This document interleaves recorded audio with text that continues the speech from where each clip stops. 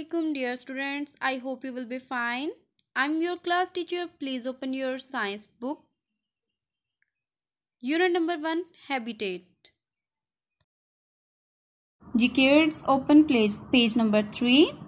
Today our topic is camel adaptations. आज हम camel को डिस्कस करेंगे कि कैमल को डेजर्ट हैबिटेट का ये जानवर है ये सहरा में रहता है तो इसे वहाँ पर रहने के लिए ये किस तरह वहाँ सर्वाइव करता है क्योंकि सहरा में तो पानी की बहुत ज़्यादा किल्लत होती है। वहाँ पे इंसानों के पीने के लिए पानी बहुत कम होता है। मतलब उनको इतना जो है वो मैनेज करने में प्रॉब्लम होती है तो ये पौधे, ये जानवर किस तरह सर्वाइव करते हैं? आगे बढ़ने से पहले हम अपने पहले प्रीवियस लेक्चर को रिव्यू करेंगे। टाइप्स ऑफ़ हैबिटेट जैसा कि हम टाइप्स ऑफ़ हैबिटेट्स को डिस्कस कर रहे हैं। कल हमने फ़र्स्ट हैबिटेट को डिस्कस किया था डेजर्ट हैबिटेट को। हम बहुत अच्छी तरह हमें ये बात क्लियर हो चुकी है कि डेजर्ट हैबिटेट कौन सी जगह है और वहाँ पर जो जानवर हैं और पौधे हैं, उनकी एडप्शंस क्या हैं, वो किस तरह सर्वाइव करते हैं। अगर जानवरों की बात करें तो डेजर्ट हैबिटेट का जो फ़ैन है वो कैमल है, क्योंकि जो ऊँट हैं, उनको सहरा से बहुत लगाव है, वो सहरा में रहना ही पसंद करते हैं। इसके अलावा अगर पौधों की बात करें तो ऐसा नहीं है कि सहरा में कोई पौधा नहीं होता तो प्यारे बच्चों, कल हमने कैक्टस को डिस्कस किया था। कैक्टस प्लांट जो है वो सहरा में उगता है।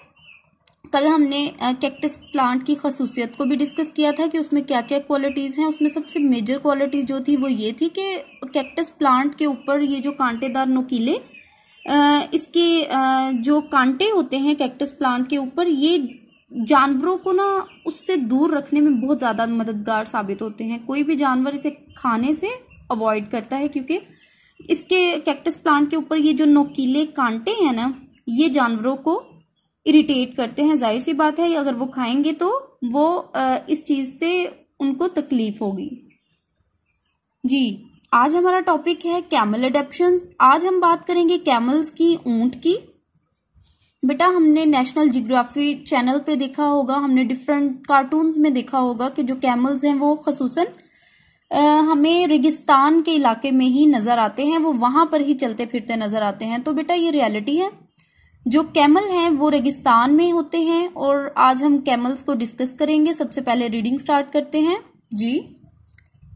The camel is known as the ship of the desert it can live without food और water for weeks even when it is carrying heavy loads It drinks gallons of water in a few minutes and stores it in its stomach.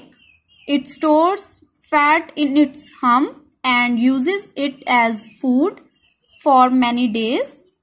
A camel's feet are wide so it can walk on sand easily without sinking into it.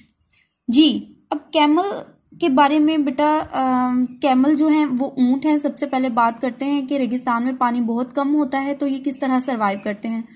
तो प्यारे बच्चों, camel जो है, ये ऐसा जानवर है कि जब ये पानी पीता है तो बेटा हम पानी पीते हैं ग्लास में वाटर बॉटल में तो कैमल्स का ऐसा कोई रूटीन नहीं है।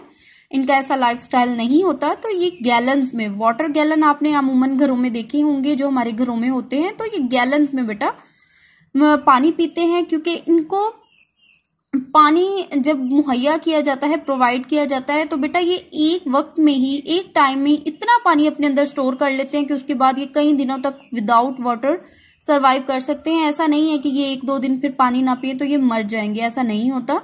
इसी तरह अगर खाने पीने की बात करें तो ये इनके अंदर, ये जो स्टोरेज है, इनके अंदर खुराक और पानी को महफूज करने की जो सलाहियत है, वो बहुत अच्छी होती है। इनकी ये कैपेसिटी बहुत ज़्यादा होती है। इसीलिए ये रेगिस्तान में सरवाइव करते हैं। इतनी धूप, गर्मी की शिद्दत में भी ये जो जानवर हैं, ये ज़िंदा रहते हैं। अब बात करेंगे इसके पाँव। देखा जाए तो रेगिस्तान में जो रेत होती है, उसमें अमूमन हम इंसान अगर हम चले चलेंगे वॉक करेंगे तो हमारे पाँव फिसलते हैं। रेत के अंदर धंसते चले जाएँगे, लेकिन कैमल्स का ऐसा नहीं होता। अल्लाह आलमाइटी की तरफ़ से इनका बॉडी स्ट्रक्चर ऐसा है कि इनके पाँव की जो शीप शेप है, वो कुछ इस तरह से चौड़े हैं, इनके पाँव होते हैं तो ये रेत पर इजीली वॉक कर सकते हैं। इनको बिल्कुल भी इशू नहीं होता।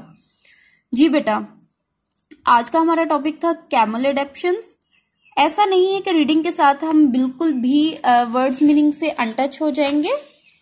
जी, बेटा प्रीवियस लेक्चर में मैं आपको वर्ड्स मीनिंग कंप्लीट करवा चुकी हूँ, बट आप आज एक दफ़ा फ़र्स्ट फाइव वर्ड्स मीनिंग को रिव्यू करेंगे, बहुत अच्छी तरह रिव्यू करेंगे।